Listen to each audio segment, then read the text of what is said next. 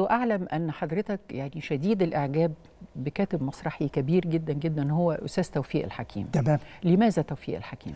توفيق الحكيم هو يعتبر مؤسس النص المسرحي المصري والعربي مم. حقيقة هو كان له تجارب في الأول خالص مم. في العشرينات والثلاثينات وقدمها يعني قدم علي بابا والزمار وكلها كانت تراث شعبي وما كانش بيكتب اسمه عليها نتيجة إنه والده بيستنكر والمجتمع في فترتها بيستنكر إن المثقفين يشتغلوا مسرح لأنه شايفين إن المسرح ده شغل الرعاع والدهماء وال والحرافيش وما إلى ذلك. فكان هو بيرفض إنه يكتب اسمه. بعدين هو عايز يأكد إن الكاتب المسرحي كاتب محترم. فكتب أهل الكهف. وكتب المسرحيات اللي جت بعد كده وقال عليها مسرحيات ذهنية. هي ما هي ذهنية ولا حاجة بس هو كان نتيجة إحباطه في عرض أهل الكهف زي تجربتنا إحنا تجربتنا اللي في الشمس وصحراء الجليد مم. أحبطتنا بس التجربة اللي عملت عملت له جزء من الإحباط لما فشلت أهل الكهف في المسرح القومي. ودي فعلا لم لم يتقبلها الجمهور فبدأ يقول أنا بكتب مسرح ذهني ادعاء أيوه. بس هو فعلا بيكتب مسرح حقيقي. مم. والدليل على هذا إن مسرحياته اللي اتعملت بعد كده نجحت نجاح باهر مم. ونجاح كبير جدا وأسس للنص المسرحي ويعتبر أستاذ المسرح في مصر وفي العالم العربي. أيوه. وبالتالي كلنا اتعلمنا منه. أيوه. لأنه فعلا هو يعني تاريخ المسرح في العالم العربي بشكل وفي مصر أيضا ليس كفنون أخرى يعني. المسرح بالذات لا هو المسرح مم. تاريخنا كله لم يعرف المسرح مم. إلا في شكله الشعبي مم.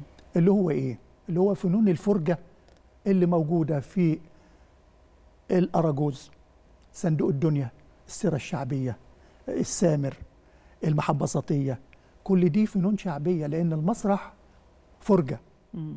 أساسا بيعتمد على الفرجة لكن المسرح بمفهومه الحديث حتى لم يكن موجودا عندنا من زمان. لا مش يعني موجود. آه.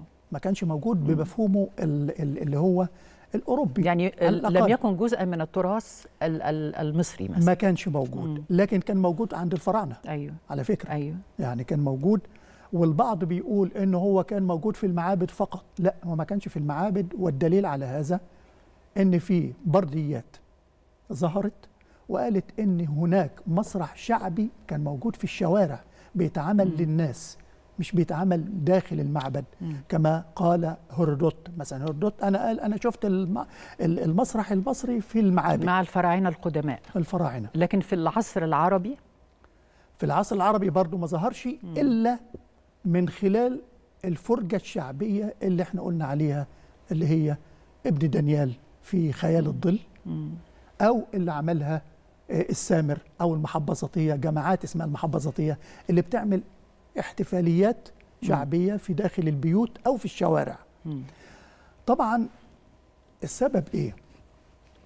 السبب إن النخبة عندنا النخبة المثقفة على فكرة هي اللي بتتحمل مسؤولية عدم وجود المسرح إنها لا تحترم إلا فنون القول واللغة يعني فنون الشعر والنثر والرسائل والنوادر والحكم وما إلى ذلك. بس. لكن فنون الفرجة مم. لم تحترمها. حضرتك بتتكلم على على أي نخبة وفي أي تاريخ؟ النخبة اللي بتكتب الشعر وتكتب النثر. في تاريخنا كله التاريخ العربي كله لا يعتبر ال- ال- ال- المسرح له وجود إلا في حد إلا إذا كان مسرح شعبي هو اللي موجود مسرح شعبي. اللي هو زي ما قلنا الإيه فنون الفرجة.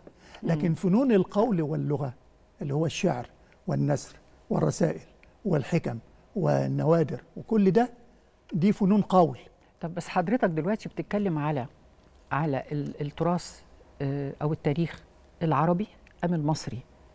العربي والمصري. لا بنتكلم على التاريخ المصري حاليا. آه. حضرتك دلوقتي بنتكلم على توفيق الحكيم وعلى زمرة كبيرة جدا لا جدا. إحنا إحنا رجعنا لورا شوية لا يعني هنتكلم على المسرح المصري مثلا في القرن نهايات القرن ال19 والقرن العشرين والآن. دي بدايات المسرح بشكله الأوروبي. آه. إنما بشكله الشعبي مم. كان موجود زي ما قلنا في فنون الفرجة. طب ليه فنون الفرجة ما تطورتش إلى مسرح حقيقي. زي المسرح الفرنجي مم. أو الأوروبي؟ السبب زي ما قلت النخبة كانت بترفضه والدليل على هذا أنه محمد تيمور وهو مؤلف مسرحي كان عامل مسرحية قدام السلطان حسين كامل. سلطان حسين كامل اتبسط من المسرحية لكن لما عرف إن محمد تيمور بيمثل قال له تعالى إزاي أنت ابن أحمد باشا تيمور تمثل مع الحرافيش ومع الدهماء؟ وتمثل على؟ اعتبار إن التمثيل يعني ومنعه مهنة من التمثيل. مم. وقال له تعالى اشتغل عندي في القصر. ومنعه من التمثيل. شوفي رغم إن هو أعجب بيه لكن لما اكتشف إن هو ابن باشا وابن أعيان كان رفض.